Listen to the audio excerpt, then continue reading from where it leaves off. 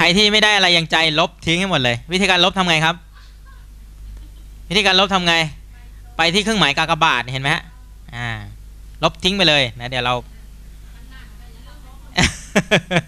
ตอนนี้ใครยังไม่ได้อะไรยังใจตามที่ผมต้องการเนอะ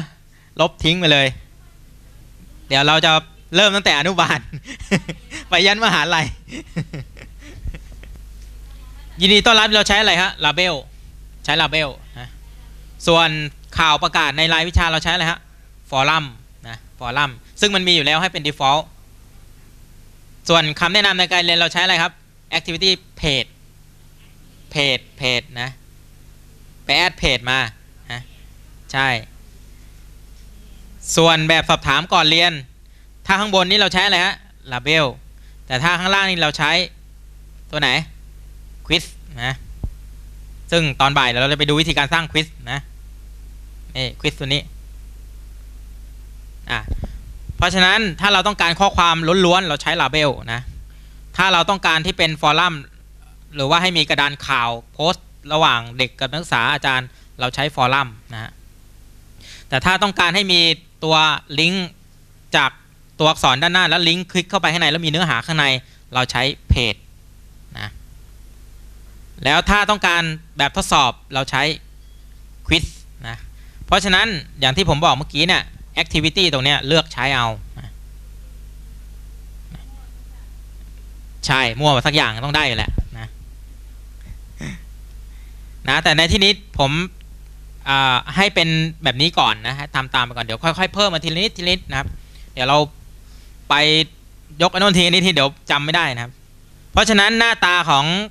อบทเรียน 6 วิชาตอนนี้จะเป็นประกอบไปด้วย 1. ยินดีต้อนรับเข้าสู่รายวิชา 2. ฟอรัมที่จะประกาศข่าวต่างๆ ในรายวิชานี้ อันที่ 3คำแนะนำในการเรียนของวิชานี้นะจะต้องเด็กเขาจะต้องทำอะไรยังไงบ้างปฏิบัติตัวยังไงนะครับ อันที่ต่อมาก็คือเรื่องของแบบทดสอบก่อนเรียนนะแล้วก็แอดควิดเข้าไปนะเดี๋ยวผมลองแอบ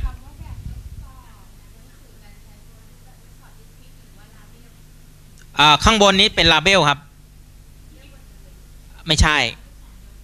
ข้างบนเป็นลาเบลเพื่อเพื่อที่จะบอกว่าเฮ้ยส่วนต่อไปเนี่ยเป็นแบบสอบถามนะอะไรเงี้ยแล้วก็แล้วก็เราก็ค่อยค่อยใช้เพิ่มส่วนของควิดเข้ามาลองจากตัวแบบ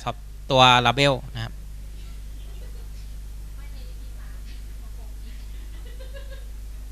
แต่ตรงไอ้ตัวแบบสอบถามข้างในเดี๋ยวเดี๋ยวตอนบ่ายเราเราได้เรียนกันนะ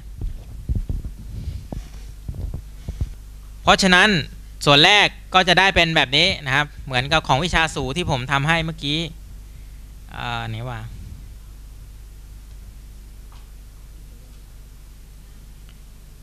อย่าลืมเรื่องอ่า alignment ตรงกลางตรงขวาตรงไหนเพราะว่ามันจะได้เป็นแบบคนคนที่เข้ามาอย่าลืมเราอยู่ในห้องมืดนะครับ ถ้ามันเราจัดวางของไว้เป็นระเบียบเรียบร้อย คนเข้ามาเขาก็จะแยกแยะอะไรได้ค่อนข้างจะง่ายหน่อยนะครับ คำแนะนำเนี่ย เราใช้อะไรนะเพจใช่ป่ะ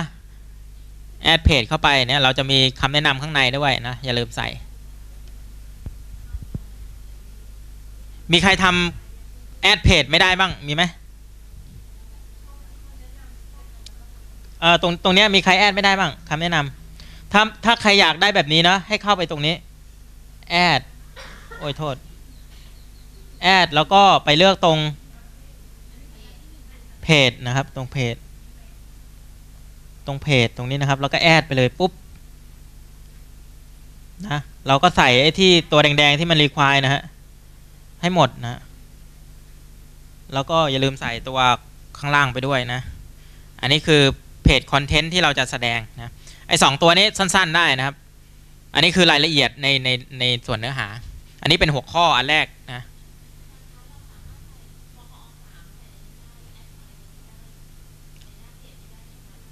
ก็ได้ครับ แต่มันจะดูมันจะเยอะเกินไปเนาะเราเอาแอดไฟล์ดีกว่าไฟล์อ่าคำแนะนำคำแนะนำในการเรียนก็คืออย่างเช่น อันนี้ฮะอาจจะเป็นสั้น ๆ อันนี้ผมยกตัวอย่างให้ดูแล้วกัน เช่นเข้ามาครั้งแรกจะต้องทำอะไรนะ ผู้เรียนต้องทำ p-test ก่อนนะแล้วก็ก่อนเข้าสู่บทเรียนในแต่ละบท ในแต่ละบทจะประกอบไปด้วยเนื้อหาให้ศึกษาตามรายตามรายละเอียดของเนื้อหานะจะพิมพ์ตรงนี้ใช่ไหมครับ จะพิมพ์ตรงนี้จะต้องมาใส่ตรงนี้ตรงเพจคอนเทนต์นะ เห็นปะลองลองลองลองแอดเพจไปก็ได้ครับ แอดไปใหม่เลย เดี๋ยวเราค่อยมูฟขึ้นมูฟลงเอา ไปที่อะไรนะ add activity นะครับ เลื่อนลงมาที่เพจใช่ไหมปุ๊บ แล้วก็คลิกที่ add นะครับ อันนี้เป็นหัวข้อนะ อย่างเช่นคำแนะนำในการเรียนทุกอย่างนะคำแนะนำในการเรียนวิชา จุดๆๆอะไรก็ไม่รู้นะสองอันนี้ก๊อปมาได้นะไม่ซีเรียสนะครับสองหัวข้อแรกเนี่ยนะแต่ที่สำคัญนี่แหละ อันนี้ต้องมีเยอะๆหน่อยนะ ต้องมีอย่างเช่นข้อหนึ่งต้องทำอะไรบ้างนะ นะข้อสอง ข้อสามข้อสี่อะไรเงี้ยนะครับ แล้วก็ พอได้แล้วก็เซฟลองลองดูนะนะมันจะได้อันนี้มาเห็นปะพอคลิกเข้าไปปุ๊บ มันจะมีหนึ่งสองสามสี่ครับ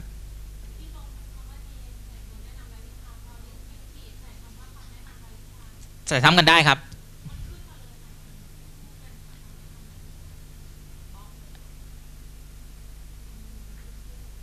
อ่อหนุ่มลองดูหน่อย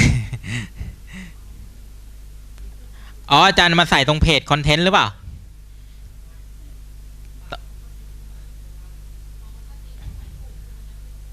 อ๋ออ่าอ่าใช่ อ่าอ่าถ้าเราติ๊กเครื่องหมายข้างล่างตรงนี้มันจะขึ้นมาตรงใต้หัวข้ออีกทีหนึ่งก็คือบรรยายหัวข้อของหัวข้ออีกทีหนึ่งแต่เราไม่เอาก็ได้นะครับ เราไม่ต้อง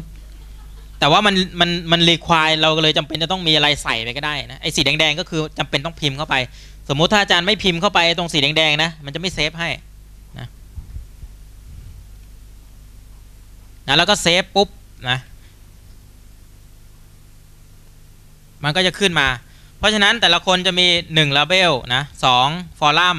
3 page 4 label 5อ่า quiz ถูกไหมฮะ อันนี้ผมทำเป็นตัวอย่างให้ดูเพิ่มมานะรูปแบบของสัปดาห์แรกจะเป็นแบบนี้นะครับ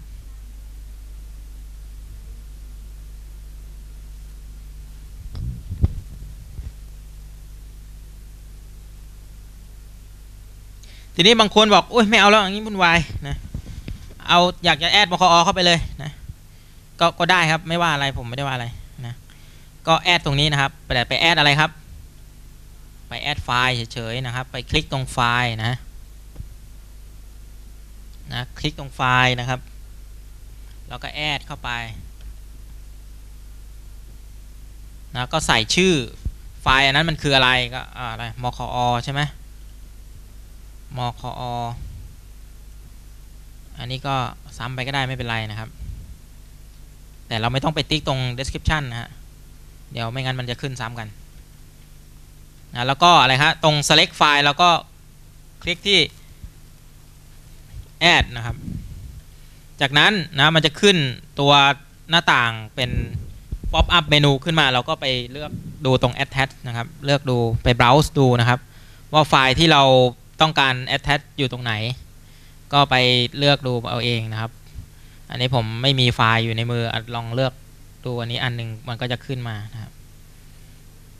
แล้วจากนั้นก็คลิกที่อัปโหลดนะครับ แนะน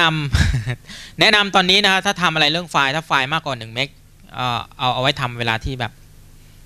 มัน traffic ไม่ค่อยเยอะเพราะมันจะไวหน่อย ไฟล์อย่าเกิน meg เป็นอันดีนะครับ เพราะว่าไม่งั้นมันจะ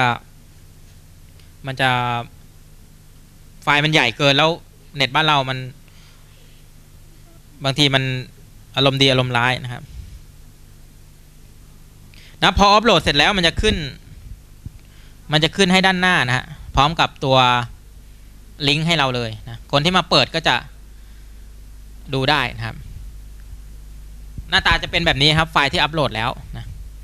ถ้าเป็น powerpoint มันก็จะขึ้นสัญลักษณ์ powerpoint ให้ ถ้าเป็นไฟล์ pdf มันก็จะขึ้นสัญลักษณ์ pdf ให้ ถ้าเป็นไฟล์ Word มันก็จะขึ้นสัญลักษณ์ Word ให้นะ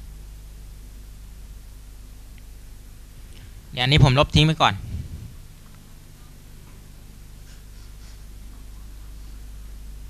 อะมีใครยังไม่ได้บ้างเดี๋ยวผมแอบตรวจดูกันนะ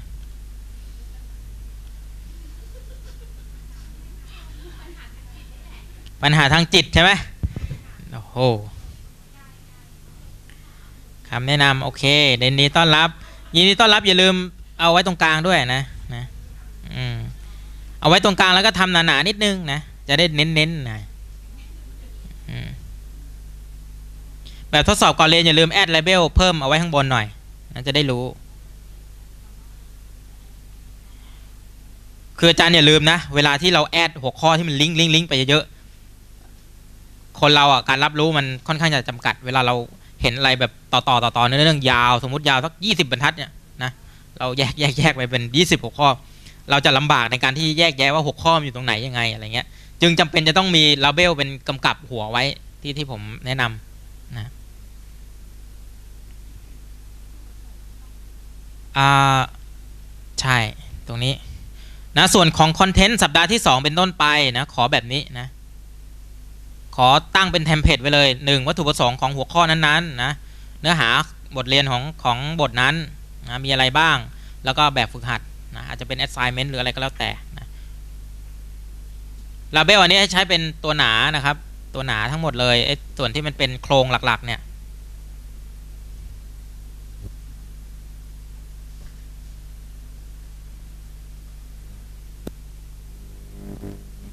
สัปดาห์แรกเราผ่านไปแล้วนะ มีใครยังหลงอยู่สัปดาห์แรกบ้าง เราขึ้นสัปดาห์สองแล้วนะ เราเราขึ้นสัปดาห์สองยังใครยังอยู่ สัปดาห์แรกบ้าง ต้องให้ช่วยเหลืออะไรไหม ได้นะ นะสัปดาห์สองขึ้นแบบนี้เลยวัตถุประสงค์การเรียนรู้นะ ให้ดีอีกขาดอะไรครับ อ่า หัวข้อถูกต้องนะ หัวข้อหรือ chapter หรืออะไรก็แล้วแต่นะบทที่หนึ่งหรือบทหรือหัวข้อเรื่องนั้นๆอะไรเงี้ยนะให้เรียงกันไปเป็นลำดับลำดับนะเราแอดตรงสมมติผมจะเพิ่มหัวข้อผมใช้อะไรฮะลาเบลก็ได้นะครับ หรือใครมีความสามารถทางด้านโปรแกรม Photoshop Photoshop ก็ตกแต่งอะไรได้นะ เดี๋ยวค่อยว่ากัน อันนี้เราเอาแบบบ้านๆไปก่อนนะ อ่าอย่าลืมเวลาแอดบางอันเนี่ยลาเบลเห็นป่ะมันเราไม่เห็นเครื่องมือเราก็โชว์ได้นะ อย่าลืมนะมันโชว์มันไฮได้นะ อันนี้เราก็หัวข้อใช่ไหมผมเอาบทที่หนึ่งแล้วกันเนาะ